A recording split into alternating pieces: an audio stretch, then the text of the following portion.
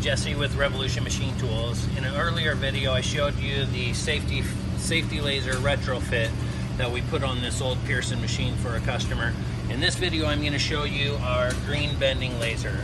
This green bending laser is a retrofit that we added. It's tied into the 24 volt DC power supply in this system.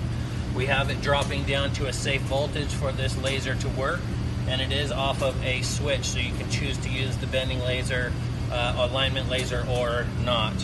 Um, but as you can see as it projects that laser beam across your material that line is visible and it allows you to line up your material for your bend